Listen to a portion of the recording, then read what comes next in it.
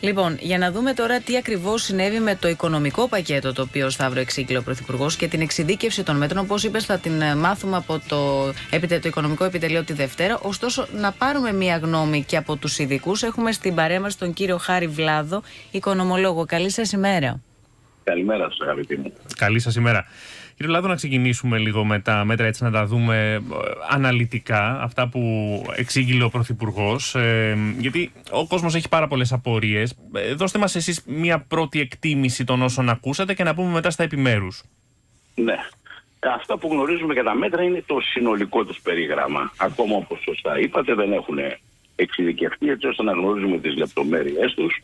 Παρ' όλα αυτά είναι σαφές ότι τα μέτρα αυτά είναι γενναία μέτρα. Είναι δυνατά μέτρα ε, τα οποία βέβαια βρίσκουν τη βάση τους στις καλές επιδόσεις της αναπτυξιακές που φαίνεται να παρουσιάζει η οικονομία μας το τελευταίο διάστημα μέσα σε μια πάρα πολύ δύσκολη παγκόσμια Ε, πιστεύω, πιστεύω ότι βρίσκονται στα όρια των αντοχών μας, των δημοσιονομικών, ε, αλλά επίσης έχω εμπιστοσύνη ότι υπάρχει σαφής εικόνα του μέχρι πού μπορούμε να απλώσουμε τα πόδια μας, να το πούμε. Αναλόγως με δημοσιονομική υπευθυνότητα, το τόνισε και ο Πρωθυπουργός. Πάμε λίγο στα έκτακτα μέτρα, αυτά τα ναι. οποία θα αρχίσουν να αποσχολούν τον κόσμο και κυρίως η θέρμανση και τα επιδόματα. Ε, είπε χθες ο Πρωθυπουργός διπλάσιο επίδομα θέρμανσης για όσους δικαιούχους καταναλώσουν για πρώτη φορά φέτος πετρέλαιο ή άλλες μορφές καυσίμου πλην του φυσικού αερίου να προσπαθήσουμε να καταλάβουμε λίγο, γιατί οι πρώτες ερωτήσεις που έρχονται από τον κόσμο έχουν να κάνουν με αυτό. Τι γίνεται δηλαδή, Εγώ δεν πρέπει να είχα ποτέ πετρέλαιο και να βάλω τώρα για πρώτη φορά. Εάν είχα, το είχα αλλάξει, τώρα μπορώ να πάρω το επίδομα. Τι μπορούμε να καταλάβουμε; Ναι, το βασικό μήνυμα που είναι και πολύ σημαντικό μήνυμα και έγινε σαφές από όλα όσα είπε ο Υπουργό, είναι ότι υπάρχει πλέον με σαφήνεια στροφή προς μια λογική εξοικονόμησης.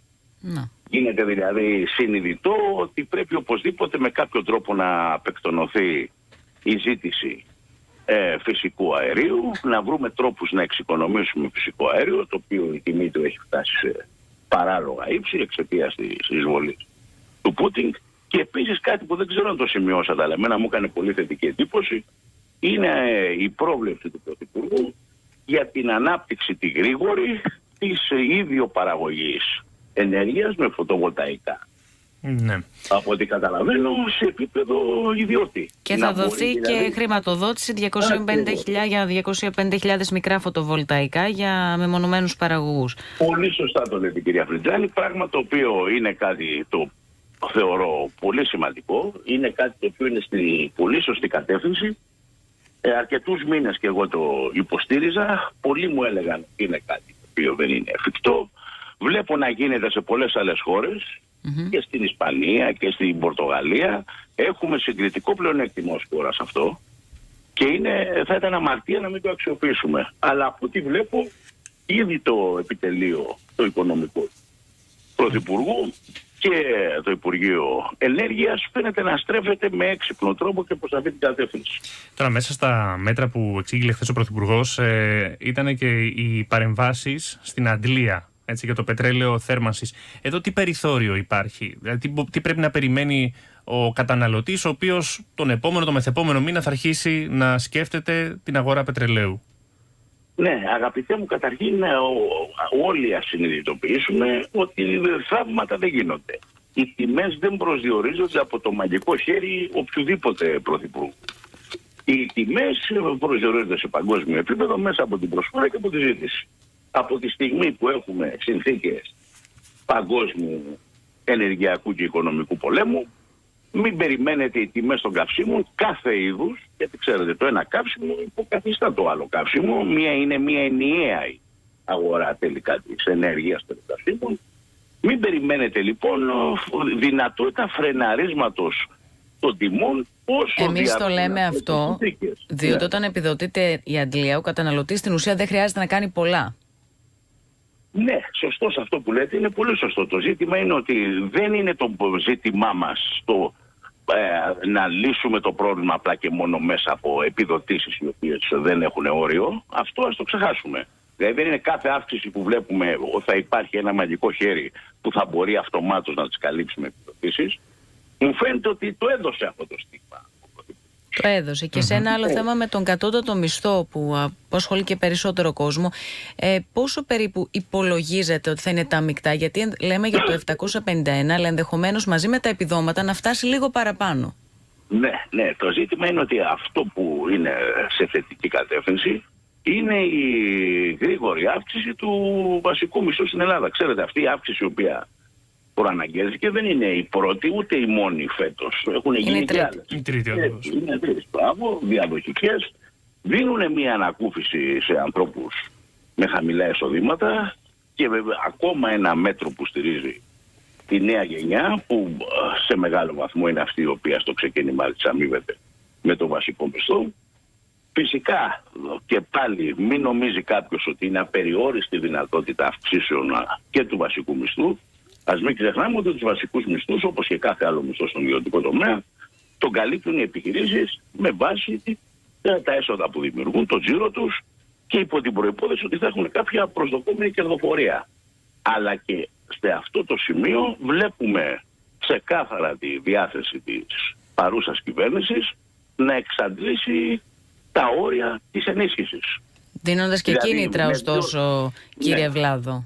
Ναι, και κίνητρα. Στις επιχειρήσεις εννοώ. Ναι, ναι, αλλά το κύριο μήνυμα που εγώ λαμβάνω από άλλου εχθές είναι κατά κάποιο τρόπο μια προσπάθεια της κυβέρνησης να αμυνθεί έναντι οποιασδήποτε κριτικής στο ότι στέκεται ανάλγητη έναντι των μεγάλων προβλημάτων που φέρνει η τρέχουσα οικονομική κρίση. Δύσκολα δηλαδή νομίζω ότι μπορεί κάποιος, ας το πούμε, εξωσιαλδημοκρατικής οπτικής και πλευράς να πει ότι η κυβέρνηση παραμένει Μεταξύ των υπολείπων βέβαια πρέπει να συνυπολογίσουμε ότι και με βάση με πρόσφατα δεδομένα οι ενισχύσεις που έχει δώσει η παρούσα κυβέρνηση βρίσκονται στο υψηλότερο σημείο ε, ενισχύσεων που έχει δώσει άλλη χώρα στα πλαίσια της Ευρωπαϊκής Ένωσης. Αυτό ήταν και άρθρο των Financial Times, μάλιστα, ναι, ότι η Ελλάδα έχει δώσει τα περισσότερα και έχει σχέση ναι. και με την αύξηση στην, στο ηλεκτρικό ρεύμα που έχουμε δει ότι είναι σε σχέση με τις άλλες ευρωπαϊκές χώρες. Να δούμε λίγο και τα υπόλοιπα μέτρα που είναι πάλι για τους νέους, ε, ναι. κύριε Βλάδο. Το ναι. επίδομα για τους φοιτητές, την αύξηση του στεγαστικού επιδόματος, αλλά και το, την βοήθεια, την οικονομική βοήθεια στους νέους έως 39 για να αποκτήσουν δικό τους σπίτι. Ναι, Γιατί νομίζω ότι αυτό αφορά ένα πολύ μεγάλο μέρος της κοινωνίας. Και ένα πολύ μεγάλο μέρος της κοινωνίας και δεν αφορά απλά και μόνο την ανακούφιση, αν θέλετε, τη βραχυπρόθεσμη και την περιστασιακή.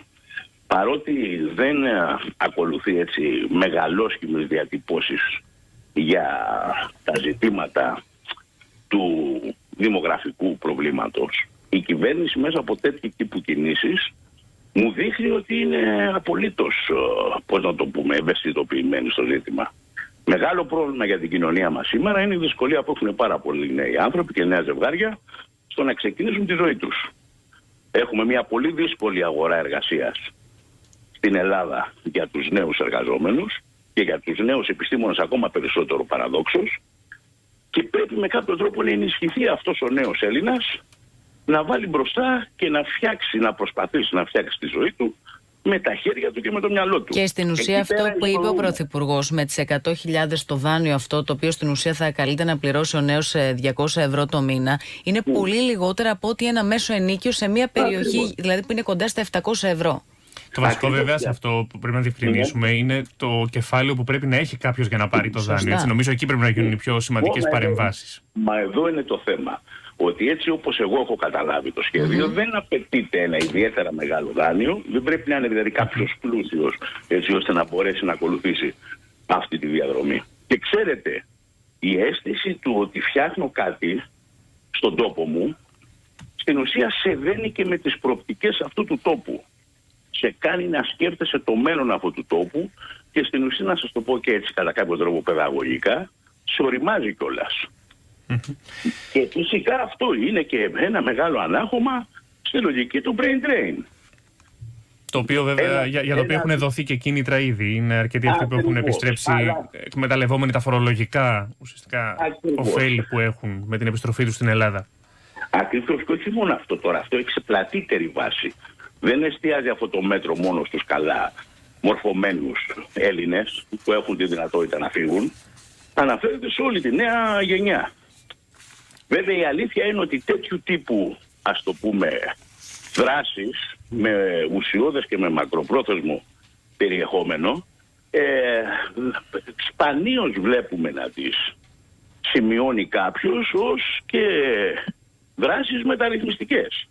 Αυτό είναι μια μεγάλη μεταρρύθμιση, Το να μπορεί ένας νέος άνθρωπος να φτιάξει το δικό του σπίτι, ένα νέο ζευγάρι, να μην έχει πάνω του το, το σπαθί, ας πούμε, το, τη δαμόκλειο σπάθη που λέγαμε παλιά, ε, στο νίκη που θα πληρώνει και μάλιστα στις συνθήκες που επιτείνονται, δυσκολεύουν κάποιες φορές και αυτό από τη σύγχρονη ανάπτυξη του Airbnb, ξέρετε. Ναι. Αυτό είναι μια, μια δυναμική που πρέπει οπωσδήποτε να δημιουργήσει ε, η κοινωνία μας άμυνες. Μάλιστα. Κύριε Βλάδο, θα τα δούμε και, στη, και τι επόμενες ημέρες. Περιμένουμε και την εξειδίκευση των μέτρων τη Δευτέρα από το Οικονομικό Επιτελείο. Θα έχουμε πάρα πολλά να συζητήσουμε, να δούμε και πώς θα εφαρμοστούν όλα αυτά. Να σας ευχαριστήσουμε πολύ για την ε, συζήτηση που είχαμε. Ευχαριστούμε πολύ. Ναι. Καλή συνέχεια. Να είστε καλά. Μία λέξη μόνο, αν ναι. μπορούσα να πω, είναι ότι πέραν των εξειδικεύσεων που θα δούμε, αυτό που πρέπει να μείνει στο μυαλό μου, φαίνεται κάθε πολίτη, δεν είναι μονάχα η γλυκιά πλευρά των δηλώσεων του Πρωθυπουργού.